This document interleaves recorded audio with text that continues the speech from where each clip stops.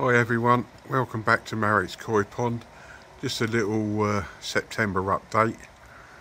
Uh, for those of you that follow my channel, uh, don't know if you remember that silver birch tree there. Oh, it's my pride and joy that was. Well actually it's not mine, it's the next door neighbour's. But look what they've had done to it.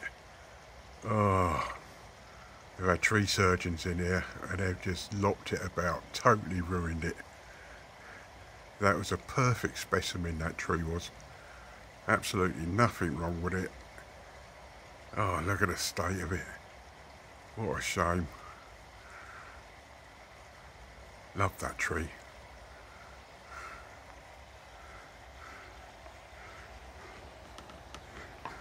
But anyway.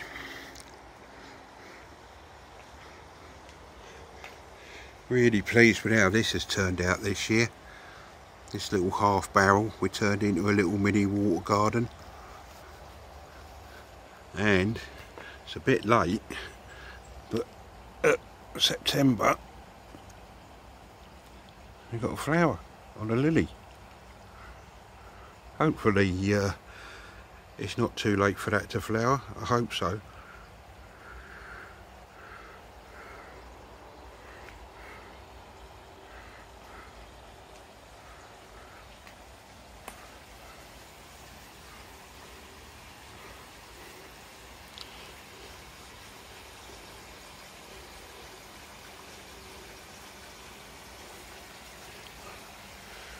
You know, which is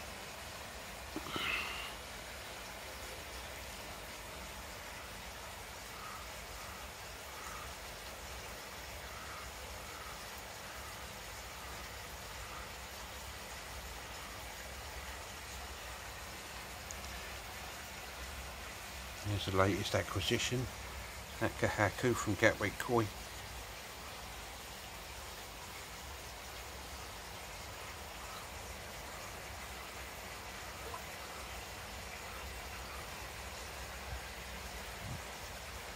The uh, Adam Boyer Grow and Show Kohaku.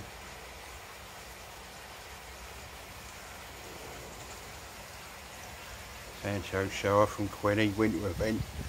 Let's put some size on it this year.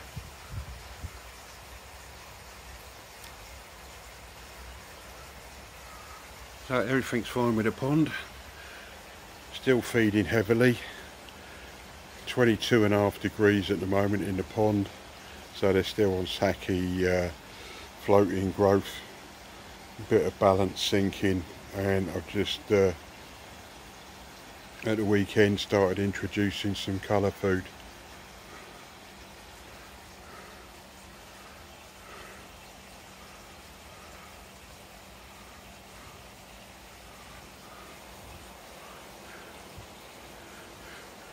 Next door neighbour also got the tree surgeons to hack this back a bit as well where it's going over a fence.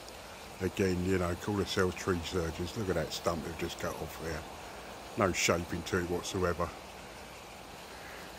Just gone mad with a chainsaw.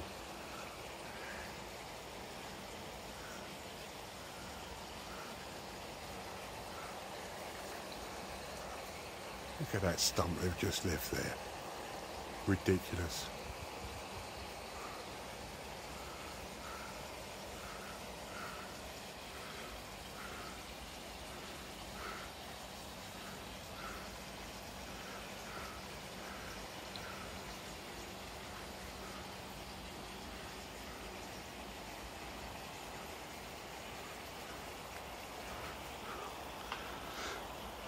The bonsai doing well.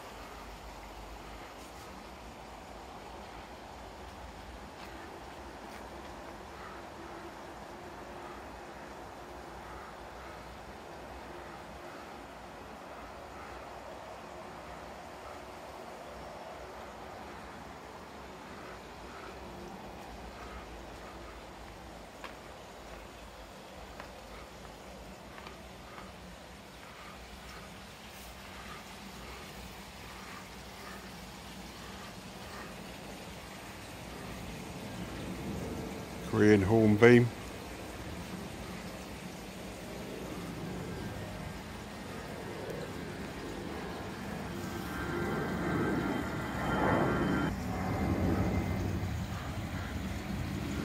I had a bit of die back on the mind your own business in the shower so I ripped it out and put some fresh stuff in there. That's just starting to take hold. The Sempervivums, the houseleeks, on top of that shower, they've really started to multiply.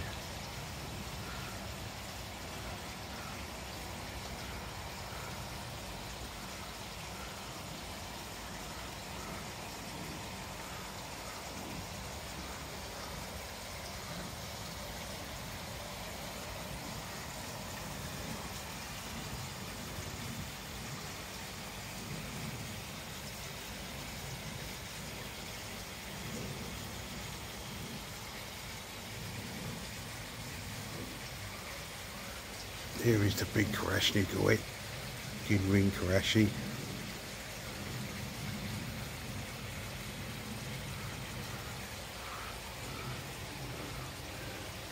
Black Magic, doubt if you can make that out.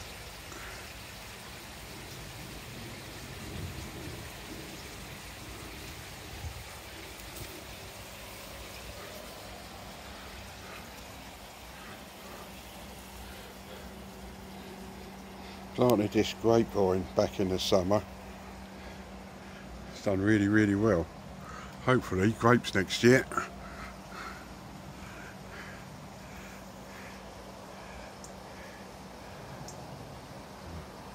I'm training it along there, along the edge of that pergola, and also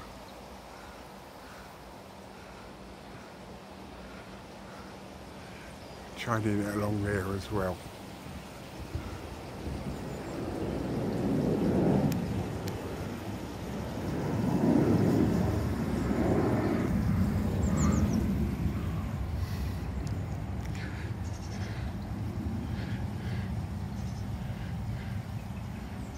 Sexy frog. Doing okay.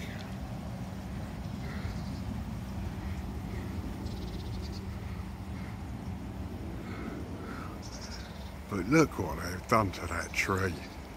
Completely ruined it. That was a gorgeous specimen, that was. That was a stunner, that tree. Absolutely nothing wrong with it at all. Why she done that, I have no idea. But then she's a bit funny like that. She's a bit, uh, I don't know. I won't say too much.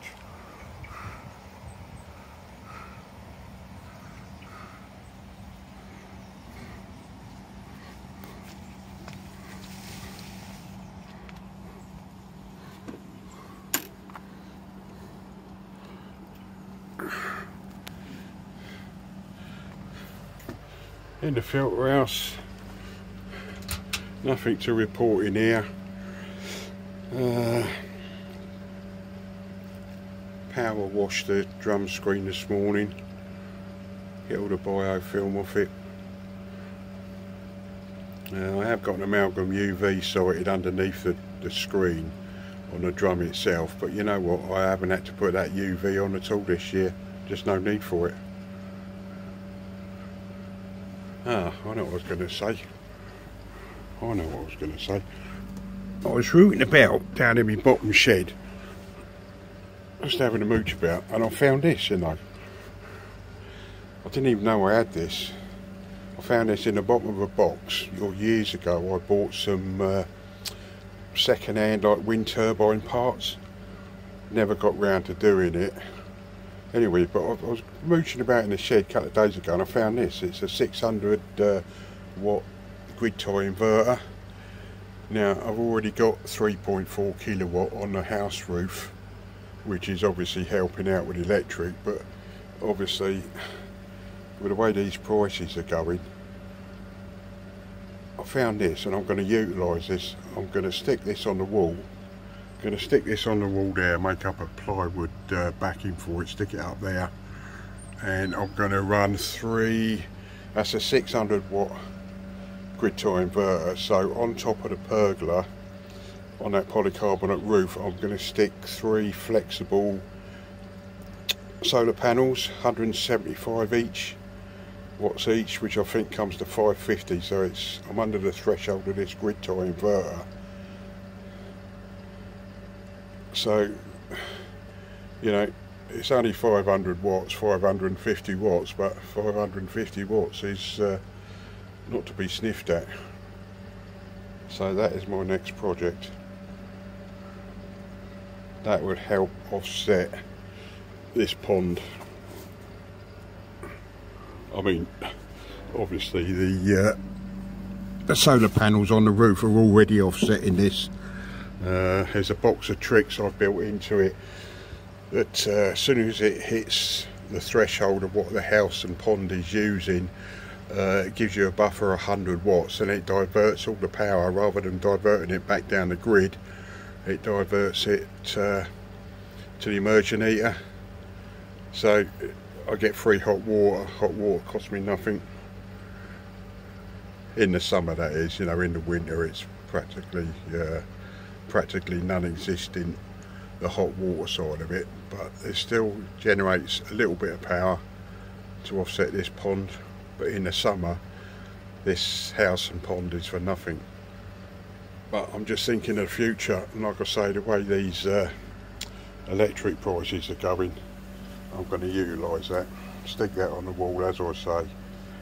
375 watt flexible solar panels on that pergola that should bring them in 500 watts hopefully. Well that's it guys. Nothing else to report really. Just like I say September update. 6.8 pH that's in fact 6.9 TDS is a bit higher than what I would have liked but then the amount of food I'm throwing in there and I really am throwing a lot of food in there I've got some tremendous growth on some of them fish this year. So I expect to see that tumble you know when we get nearer Christmas.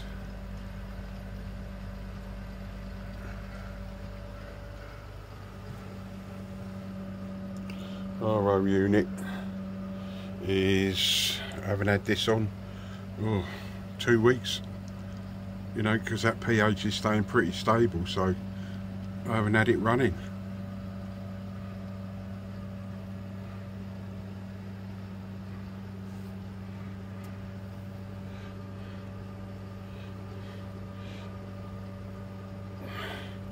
Homemade Tempest doing its job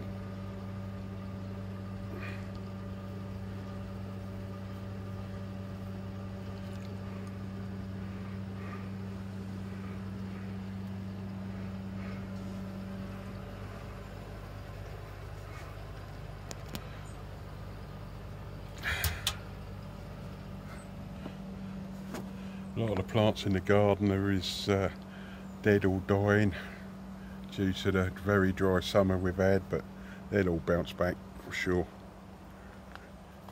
The grass is greening up anyway. That was that was mustard yellow last week. But that's greening up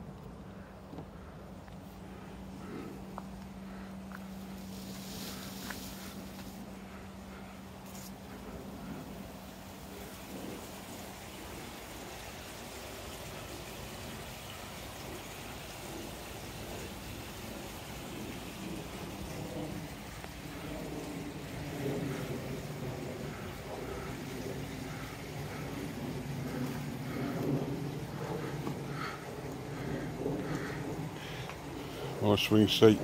Spend hours in this. Right, that's it gang. Thanks for watching. Uh, if you found in, if you found the video interesting, please like and subscribe, and I'll catch you next time. Thank you for watching. Bye.